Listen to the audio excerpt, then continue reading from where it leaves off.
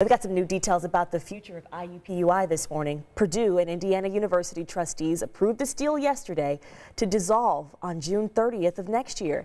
School leaders first announced this split back in August, but it will form Purdue University Indianapolis and IU Indianapolis.